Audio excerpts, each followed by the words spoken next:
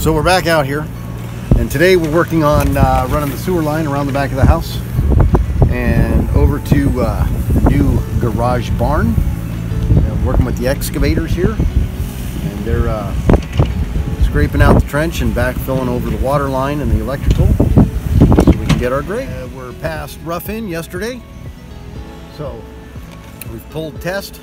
We're ready to go on that. Next week we're going to move over here to the garage and start doing the apartment upstairs.